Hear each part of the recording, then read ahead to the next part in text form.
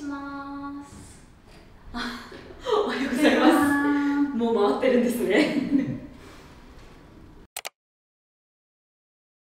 じゃあ、ひれたちゃん今回ね、えっと、YouTube にね、えっと、企画でちょっと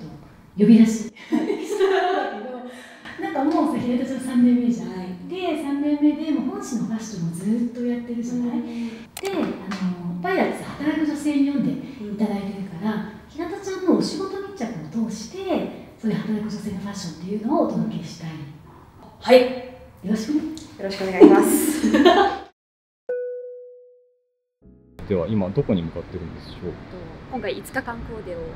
スタイリストの吉村さんにお願いしたのでそのコーディネートチェックに行きたいと思いま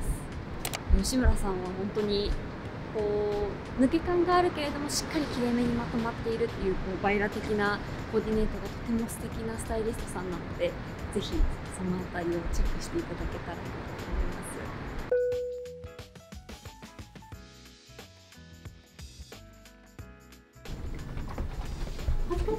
お疲れ様です。よろしくお願いします。よろしくお願いします。スタイリストの吉村です。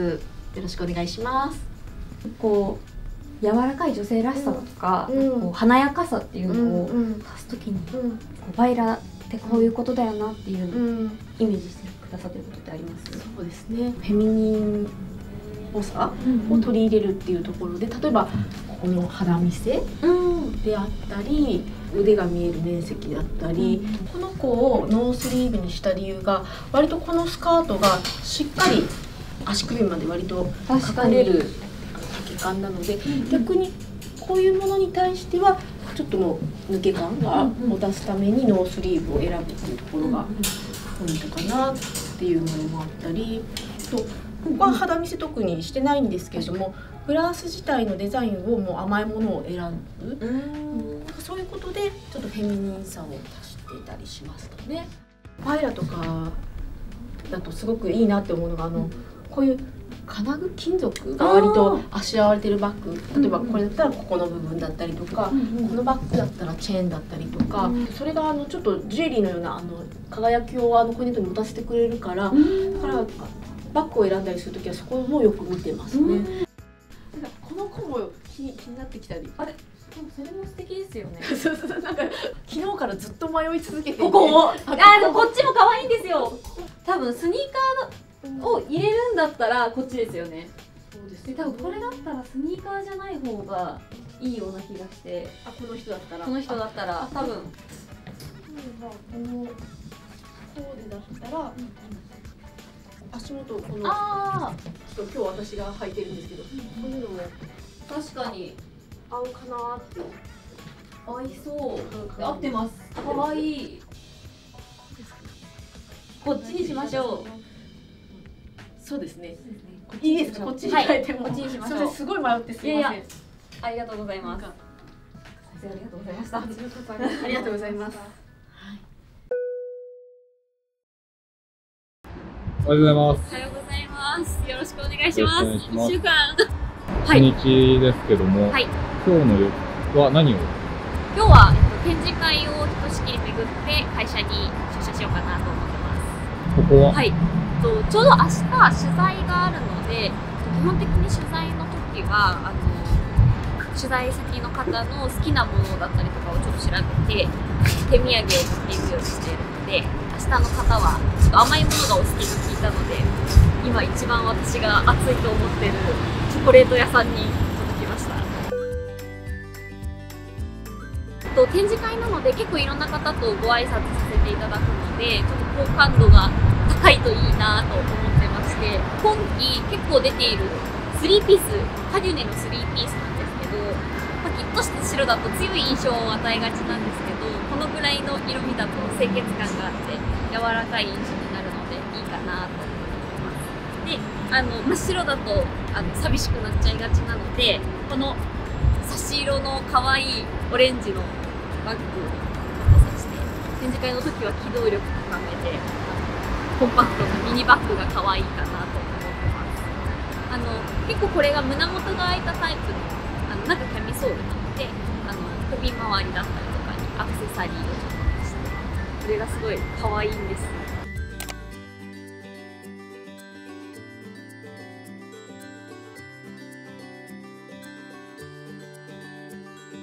こちらのお店が有名ショコラティエのマナゴさんとあとパティシエの大山さんがコラボで出されているお店でこ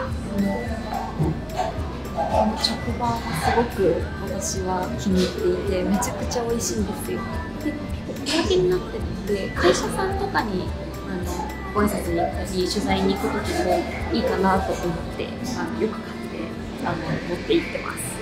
なんか他にもいろいろとあの期間によってはすごい美味しいパフェが出ていてもし店舗に来られる方とかいたら絶対食べた方がいいです本日2日目？はい、2日目です。ちょっとさっきまで打ち合わせがあって、この後取材に行かなきゃいけないので、ちょっと急ぎ足なんですけど、ちょっと今から取材に行きたいと思います。はい今移動中なんですけども、はい昨日購入したビールさんの手土産を持って、仙人に行きたいと思います。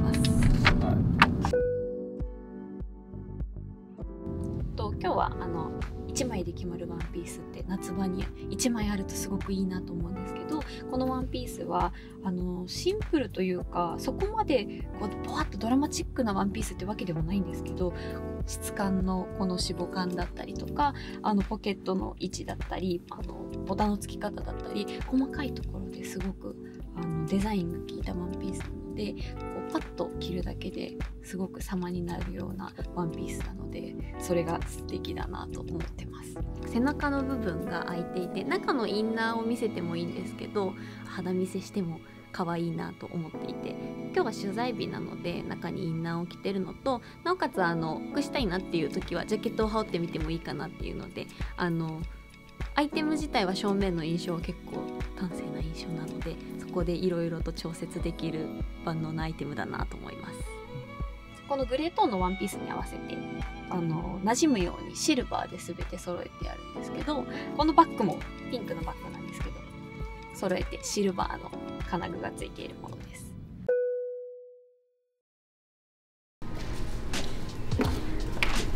おはようございます。おはようございます。よろしくお願いします。お願いします。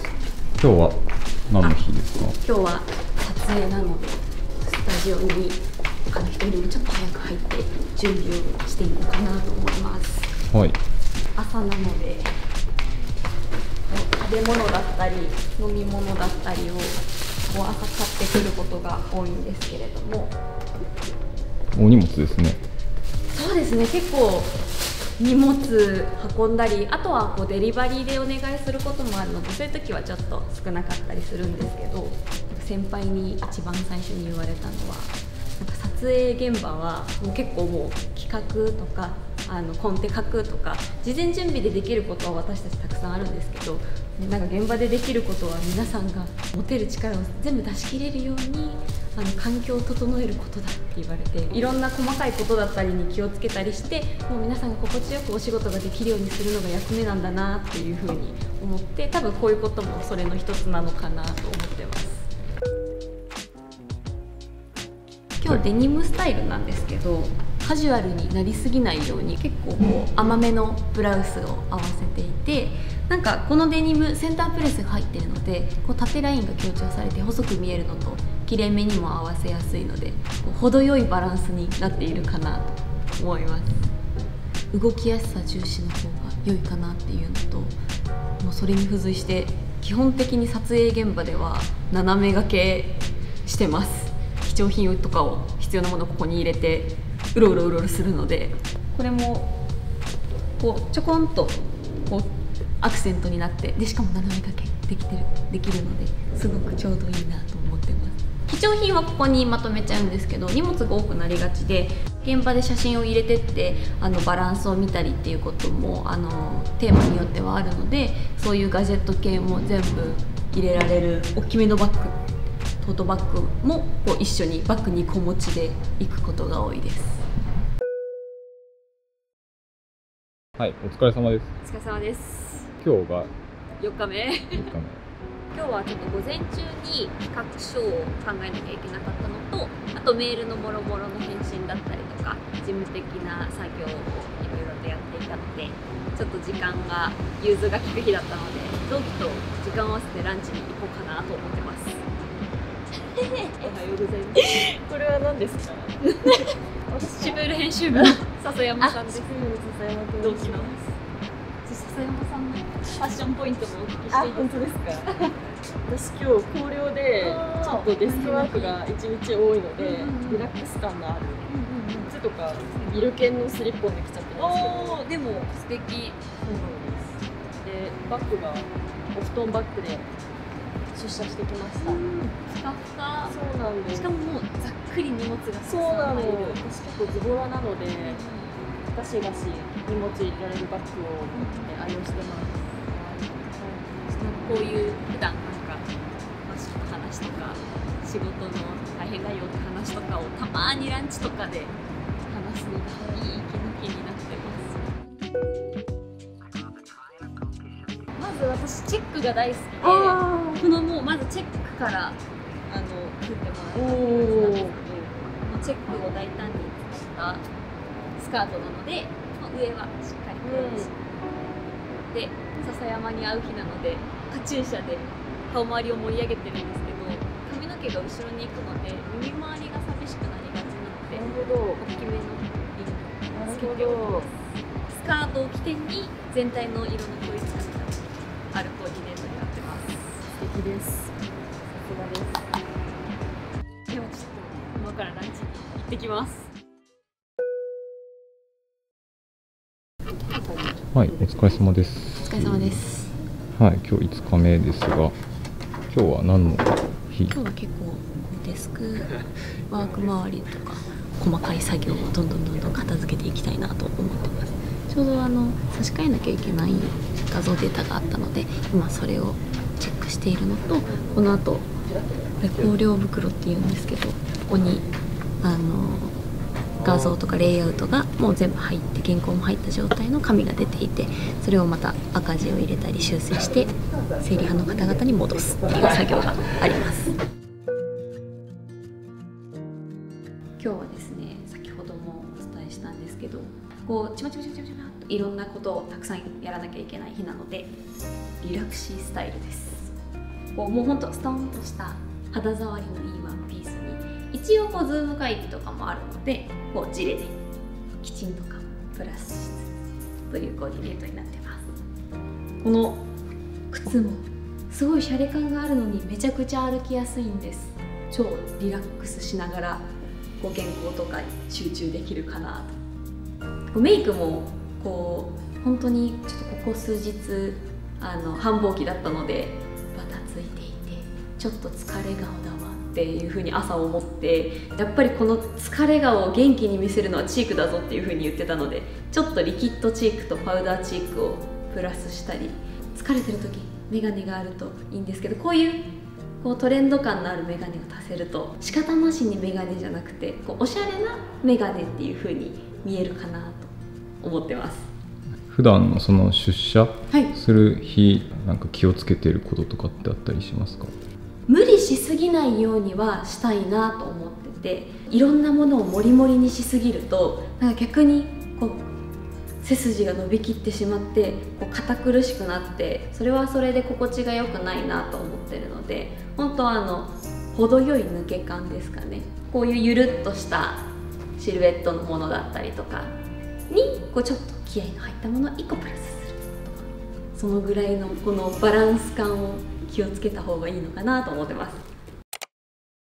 今回5日間やってみた感想はいを伺えればなと思うんですが、そうですね。機能性っていうのも捨てられあの絶対に大事なものなのでそこもしっかり意識しつつポイントポイントでおしゃれを楽しむっていうのもなんかこう働いている自分が好きだわって思えるポイントなのかなと思ってそういう一個一個のこうコーディネートにいろんな思いが詰まっていてそういうことをあのどんどん本誌の方でも YouTube の方でも発信していけたらなと思ってるので思いが皆さんに伝わっていたら嬉しいなと思います。